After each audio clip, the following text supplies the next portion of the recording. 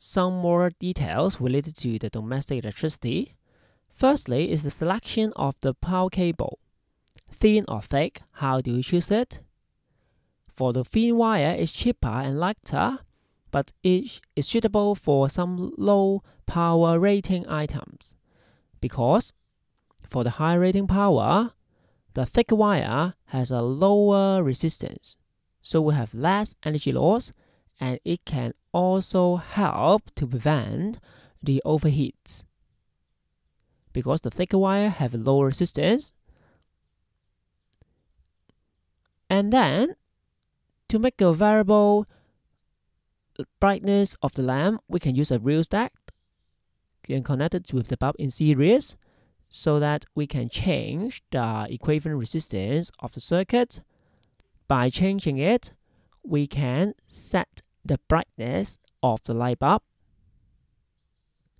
And you can see the equation when the rheostat increases resistance, the power will be decreased. That means the light bulb will become dimmer.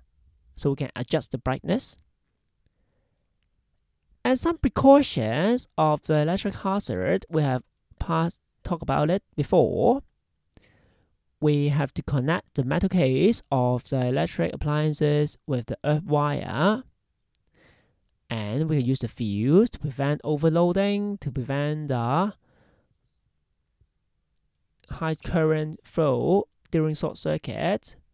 And we can have other kinds of safety measure and for saving electricity, we should note that most of the power plant is still operating with the fossil fuel.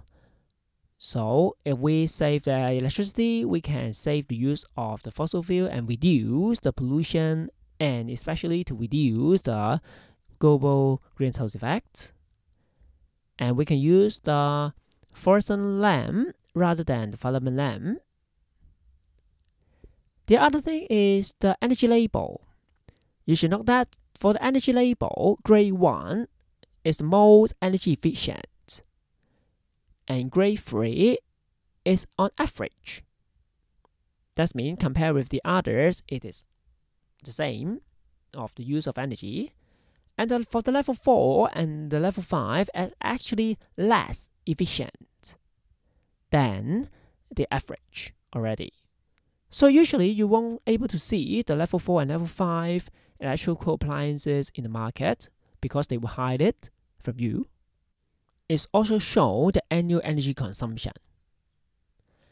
Then, this example, we are comparing the two kinds of light bulb. You can see that they have different power and different price. So, let's find the efficiency of the light bulb first. For the filament lamp, the left hand side, okay, let's consider what is the efficiency here. Uh, the efficiency is the useful output over the input. Uh, the useful output is light. And how about the input? Yes, it's 100. So that we can find out the efficiency here is 15%. How about for the energy saving bulb? For the energy saving bulb, the efficiency. Also, the useful output is 15. And how about the input? The input is just 18 for this one. So you can see that it is more efficient than the filament bulb.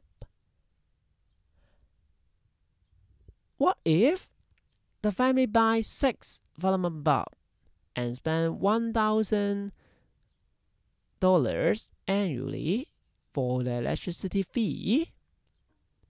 How much can the family save by using energy bulb?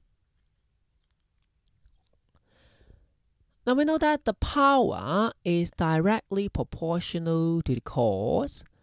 Why? If you still remember the power the energy bill, then you should note that the energy is proportional to the cost. And now annually, that means both of them have the same time. The time is one year. So that the power and the cost is directly proportional. So that we can use this idea to find out the cost that you need to pay if it uses less energy. And that means the less power here. Now, so this is the cost of the electricity, but you should note that the energy saving bulb is more expensive. So that we have to consider the cost of the light bulb also. Now, so the money saved should be the money saved in electricity minus the extra cost for the bulb. So that we can calculate the money saved in electricity minus the extra cost for the light bulb so that we can get the correct answer.